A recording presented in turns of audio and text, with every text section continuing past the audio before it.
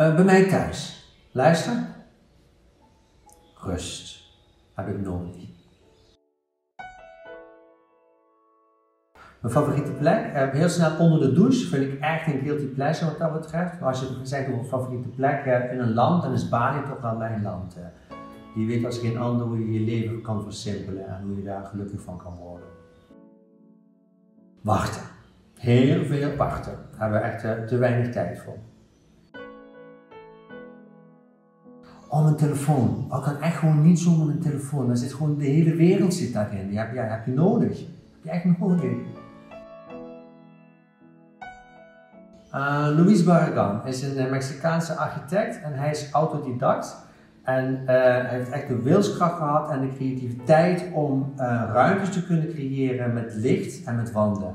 Ja, en als je dan moet huilen van die ruimtes, omdat het zo mooi en zo'n bepaalde emotie toelaat, ja, dat is wel volgens mij echte, echte architectuur.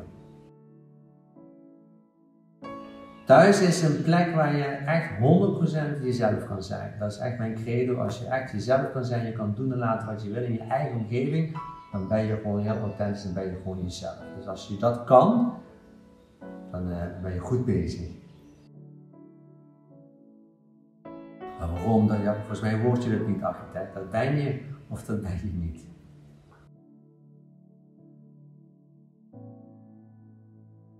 Ja, waar komt de fascinatie van circulaire bouw vandaan? Uh, eigenlijk vanuit de architectuur, uh, want wij ontwerpen eerst en gaan dan op zoek naar nieuwe materialen. En ik wil graag het proces omdraaien, dat vind ik gewoon echt absurd. We moeten eerst kijken welke materialen we gaan gebruiken en hoe kunnen we die omzetten naar een goed ontwerp. Nou, het doel is vooral bewustwording creëren, uh, dat het gewoon anders moet en ook anders kan.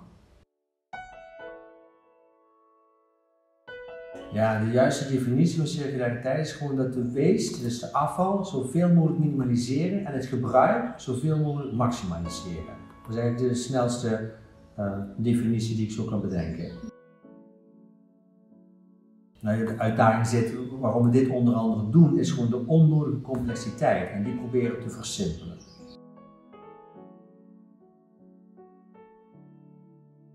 WEF, WEF staat voor World Economic Forum. En die wil de wereldeconomie wil die nieuwe vorm geven om zo snel mogelijk economisch herstel toe te passen en te maken. Dus dat is het gebied van innovatie, het gebied van wetenschap, technologie.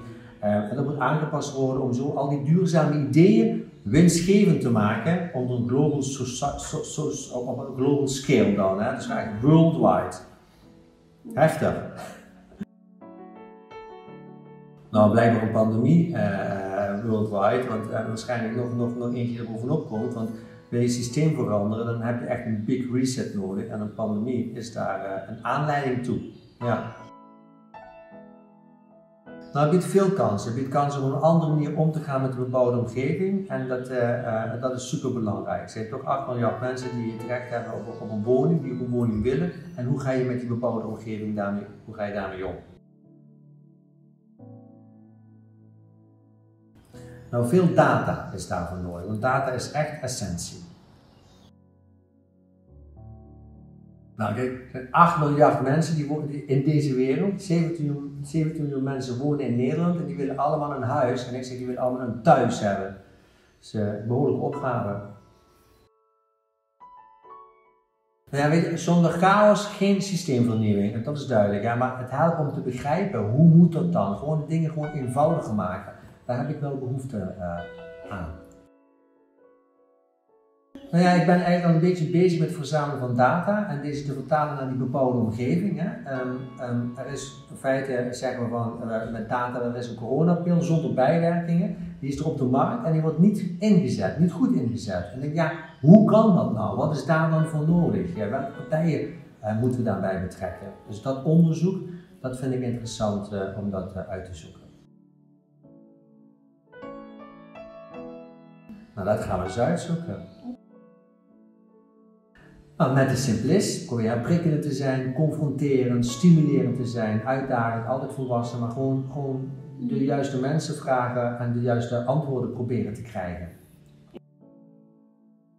Dat is zeker weer wat nieuws. Dat is eerder een resultaat van de zoektocht naar de essentie van het leven. Daar ben ik wel mee bezig. En waarom ben ik hier en waarom doe ik dat en wat, wat, wat kan ik daaraan bijdragen?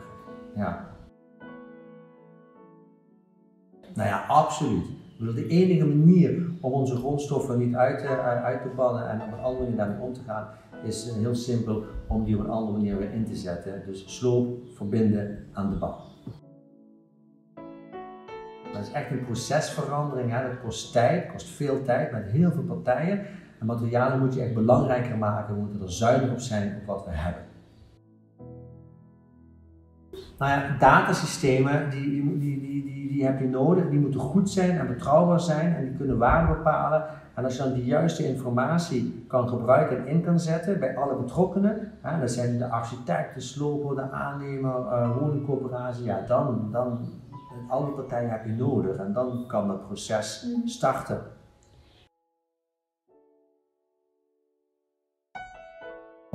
Nou, gewoon to simplicate my life. Gewoon is in en al chaos en ik wil uh, dat moet geordend worden hier. Uh, ja, het waarom is wel heel belangrijk bij mij, ja. Nee. Nee. Dus 8,5% rendement levert het op. Uh, winst, wat iedereen graag wil. Winstmaximalisatie levert gewoon winst op. Maar buiten dat geld oplevert, levert het ook een CO2-reductie op. Dus absoluut niet duurder. Jazeker. Nou ja, als slopen goedkoper kan, dan kan bouwen ook, uh, ook veel goedkoper en toch circulair. Nou, om het makkelijk te maken, we hebben inmiddels al de energielever, maar er is geen CO2-label voor gebouwen. We weten niet waar die materialen vandaan komen en wat de toxiciteit is, wat de losmaakbaarheid is van die materialen. We willen allemaal in een gezond gebouw wonen en werken. En we weten niet hoe en wat precies. Het is toch wel tamelijk belangrijk om te weten uh, in welk gebouw we zitten en wat daar de consequenties van kunnen zijn. Nou, een heel, heel simpel voorbeeld. Um, um, nu worden ijzeren balken uit een gebouw worden gehaald. Die gaan naar Turkije toe, die worden daar omgesmolten. En via China komen ze nieuw terug. Um, terwijl uh, uh, zo'n gebouw gesloopt wordt. En, en, en die ijzeren balken zouden op op, een, op, op een goede manier eruit kunnen halen. En er één op één kunnen hergebruiken. Dus daar zit een discrepantie in van, van, van tijd, van geld, van transport, van, van, van alles. Dus dat is, dat is, raar. Nou ja, in 2030 zijn we verplicht om die CO2-reductie terug te brengen met grondstoffen naar, naar, naar, naar, 50%. Dat is nogal een opgave. Daar heb je alle partijen bij nodig om dat te doen. Ja, waarom, waarom ben ik hier? Nou, voor in ieder geval om die kwaliteiten wat ik denk te hebben in, te zetten, zo goed mogelijk in te zetten. Dat is het uh, allerbelangrijkste, om de wereld dan een beetje mooier te maken. Nou, gewoon vooral met open vizier in het leven uh, blijven staan. Zeker nu. Uh, je blijft tenslotte de architect van je eigen leven. Dus voel je vooral ook uh, lekker in. Zelf. Wat is de simplest? De simplest is een, een, nieuwe podcast waarin we op zoek gaan naar, naar antwoorden. En dat doen we op een prikkelende, confronterende en open, transparante manier met super interessante mensen die veel te vertellen hebben gewoon een paradijs op aarde hier in Nederland verder kunnen uh, ontwikkelen.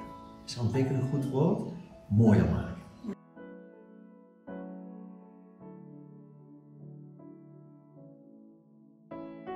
Er is eigenlijk geen doodgewone jongen, maar die heel graag antwoorden wil weten en gehoord wil worden waarom de zaken zo zijn zoals ze zijn. Zonder te veroordelen, maar ik wil het begrijpen. En ik snap een aantal dingen gewoon niet. En uh, ik, ik, ik, wil weten waarom niet. Waarom zijn de dingen zoals ze zijn? Zodat je het beter kan maken en mooier kan maken. Hm. Daar gaan we achter komen. We gaan het zien. Ja.